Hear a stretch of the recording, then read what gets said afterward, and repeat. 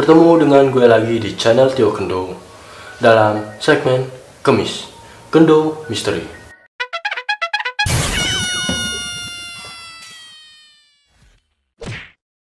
Sebelum lanjut, silakan klik tombol subscribe. Gratis!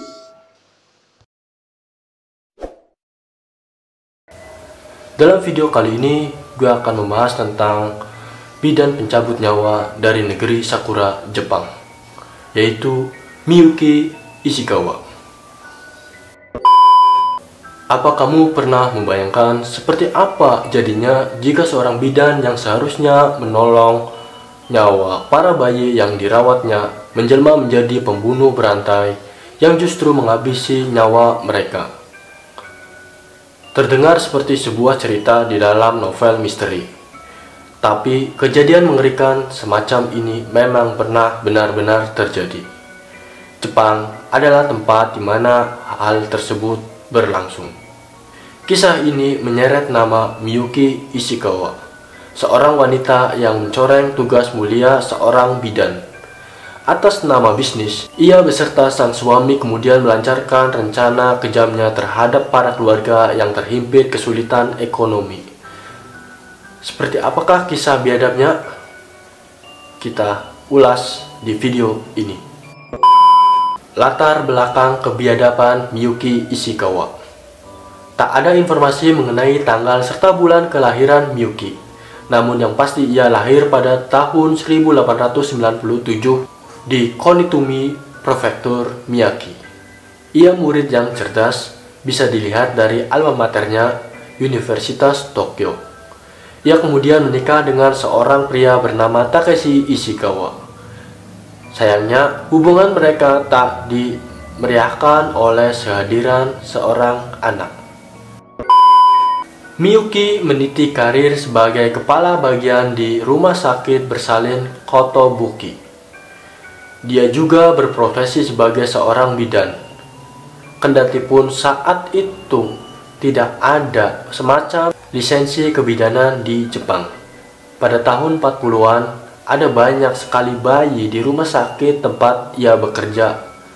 Dan pada saat itu, Miyuki dihadapkan pada suatu kegemangan. Para orang tua dari bayi-bayi ini adalah keluarga yang kesulitan perekonomiannya. Jangankan memberi asupan gizi yang cukup pada bayinya, memenuhi kebutuhan harian pun mereka masih sangat kekurangan. Miyuki menganggap bahwa kematian adalah jalan terbaik bagi bayi dan keluarganya. Miyuki pun memilih untuk memperlantarkan sejumlah bayi yang berasal dari kalangan tak mampu tersebut. Ia merasa bahwa itu hal terbaik bagi si bayi dan keluarganya. Tindakan menyimpangnya ini berujung pada banyaknya kematian bayi. Jumlah korbannya tak diketahui, namun diperkirakan sedikitnya ia telah menyebabkan kematian 103 bayi. Mengetahui hal tersebut, dari semua bidan yang bekerja bersamanya malu dan geram terhadap praktek yang Miyuki lakukan dan memilih keluar dari rumah sakit tersebut. Mengeruk pundi-pundi dari orang tua yang merestui praktek kejinya. Tanpa sedikit pun merasa bersalah, ia kemudian menjadikan prakteknya ini sebagai ladang bisnis. Sebagai informasi, saat itu praktek aborsi adalah tindakan yang ilegal di Jepang. Alat kontrasepsi juga masih belum sepopuler dan secanggih sekarang, sehingga seorang wanita yang kadung hamil terpaksa harus melahirkan bayinya. Memanfaatkan situasi ini, ia bersama suaminya mengeruk banyak uang dari praktek keluarga si bayi dengan cara meyakinkan mereka bahwa biaya menghabisi nyawa bayi mereka akan lebih jauh ringan ketimbang biaya menghidupi bayi tersebut. Praktek kejam ini juga melibatkan Dr. Shiro Nakayama yang bertugas memalsukan sertifikat kematian. Kasus serupa juga pernah terjadi sebelumnya pada tahun 1930. Beberapa warga Itabashi dituduh telah membunuh 41 anak asuh. Sama seperti pada kasus Miyuki, pemerintah Jepang juga sebetulnya mengetahui hal ini namun mereka memilih menutup mata.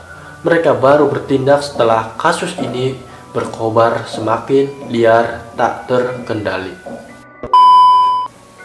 Terungkapnya kasus dan hukuman yang jauh dari kata adil. Pada 12 Januari 1948, dua orang polisi dari kantor kepolisian Waseda secara kebetulan menemukan lima jasad bayi korban kebiadaban pasangan Ishikawa. Dari hasil otopsi, disimpulkan bahwa kelima bayi ini meninggal secara tidak wajar. Maka setelah menelusuri semua bukti, Miyuki dan suaminya kemudian resmi ditahan tiga hari kemudian. Dalam pembelaannya, Miyuki berkilah bahwa anak-anak itu merupakan buangan orang tuanya, sehingga ia merasa bahwa orang tua mereka pun seharusnya mendapat hukuman. Dari hasil investigasi lebih lanjut, polisi menemukan lebih dari 40 jasad bayi di rumah jenazah. Lalu 30 mayat lain ditemukan di sebuah kuil. Banyaknya mayat bayi dan lamanya waktu pembunuhannya membuat pihak aparat kesulitan menentukan berapa jumlah korban sebelumnya. Oleh karena itu, angka pasti kematian hingga sekarang tidak diketahui. Miyuki dihukum penjara 8 tahun sedangkan suami beserta dokter Shiro hanya 4 tahun. Maka tahanan yang tergolong sangat ringan mengingat betapa imoralnya tindakan keji mereka. Hukuman yang pantas jelas adalah eksekusi mati. Belum lagi ketika banding keduanya yang dikabulkan pengadilan negeri Tokyo sehingga mereduksi masa hukuman mereka menjadi separuhnya. Sisi positifnya, kebiadaban Miyuki memulai pemerintah untuk membuka mata. Dalam segala hal, selalu ada hikmah yang bisa dipetik Insiden ini dianggap sebagai alasan yang mendasari pemerintah Jepang untuk memulai mempertimbangkan legalisasi aborsi di Jepang. Salah satu alasan mengapa insiden ini bisa terjadi adalah karena tingginya jumlah kelahiran bayi yang tak direncanakan di Jepang. Pada tanggal 13 Juli 1948, dibentuklah Eugenism Protection Law yang pada intinya melegalkan aborsi atas alasan ekonomi di Jepang yang kemudian diresmikan pada tanggal 24 Juni 1949. Lalu bagaimana dengan nasib Miyuki dan suaminya? Setelah mereka bebas pada tahun 1952, karena masa tahanan mereka dikurangi setelahnya, pasangan ini tidak diketahui lagi jejaknya. Tak ada informasi yang menyebutkan kapan tanggal kematian bidan keji ini. Hingga saat ini, rekor kejahatan Miyuki Ishikawa belum ada yang menandingi. Dan itulah kisah dari bidan Kenji, yaitu Miyuki Ishikawa. See you next time di video-video gue selanjutnya. Jangan lupa subscribe di bawah ini.